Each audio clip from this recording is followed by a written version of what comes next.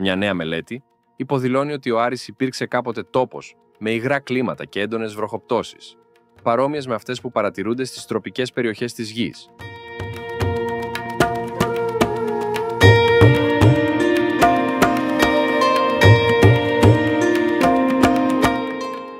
Οι ερευνητές εντυπωσιάστηκαν από ασυνήθιστα ανοιχτόχρωμες πέτρες που ανακάλυψε το ρομπότ Perseverance της NASA στην επιφάνεια του Άρη. Μετά από πιο προσεκτική ανάλυση, οι πέτρες αποδείχτηκαν ότι είναι καολινίτης, ένας τύπος πυλού πλούσιος σε αλουμίνιο. Στη γη, ο καολινίτης σχηματίζεται σχεδόν πάντα σε πολύ ζεστά και υγρά περιβάλλοντα, όπως αυτά που συναντώνται στα τροπικά δάση. Συνήθως σχηματίζεται σε βράχους, από τους οποίους έχουν αφαιρεθεί όλα τα άλλα ορυκτά μετά από εκατομμύρια χρόνια τακτικών βροχοπτώσεων.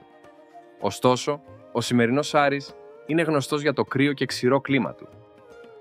Η ομάδα των επιστημόνων σύγκρινε τη δομή του Αριανού Καολινίτη, που εξετάστηκε με διάφορα όργανα του Perseverance, με δείγματα από τη Νότια Αφρική και το Σαν Diego.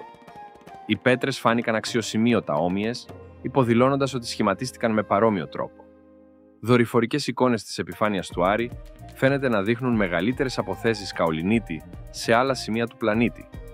Ωστόσο, το Perseverance και άλλα ρομπότ δεν έχουν εξερευνήσει αυτές τις περιοχές ακόμη.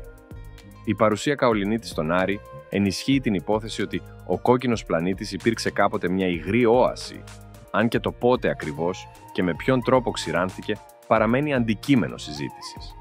Οι κυριότερες υποθέσεις υποστηρίζουν ότι ο πλανήτης έχασε το νερό του κάπου μεταξύ 3 και 4 δισεκατομμυρίων ετών πριν, όταν το μαγνητικό του πεδίο εξασθένησε αρκετά ώστε οι ηλιακοί άνεμοι να απομακρύνουν την ατμόσφαιρά του.